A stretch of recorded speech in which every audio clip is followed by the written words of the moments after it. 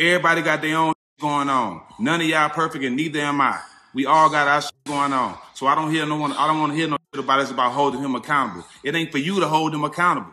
It's for him to hold himself accountable. When I did the video on Ja Morant, one of the first things I said was I did not like the way the media was covering the whole story. It just seemed as though they was kicking him while he was down. And to my surprise, well actually to not my surprise, a former NBA player felt the same way. I've never seen so many of my people. I seen it with me when I me and Ron got into that trouble. I seen it a little bit, especially with the black people on TV. I seen it. A lot that's still on TV right now, just like Jermaine O'Neal said on the broad thing, they still owe me apology. And they on TV right now, but I ain't never asked them for it. That's what J.O. said, because the way they talked about me.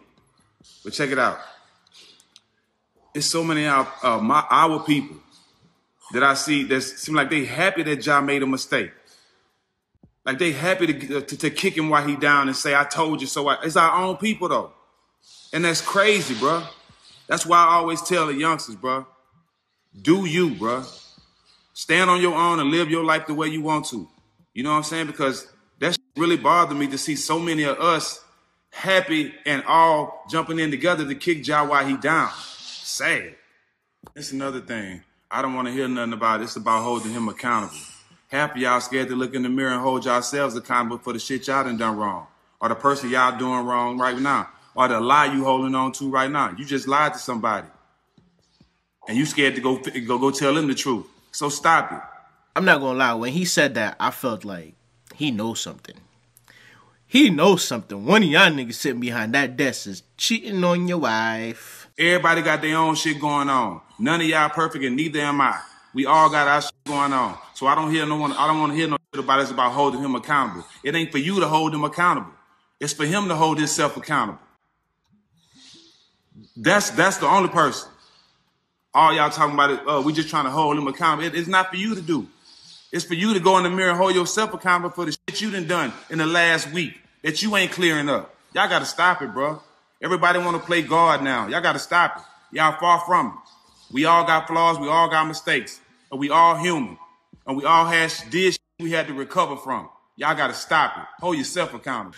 To be quite honest, though, I feel as though Shannon Sharpe, and I, I fucks with Unc, you feel me? But I feel as though the little altercation Shannon Sharpe had with Ja Morant and his pops, I feel as though that might cloud his judgment just a little bit. I do feel as though Shannon Sharpe needs to look at it from a I'm part of the media and this young black man made a mistake.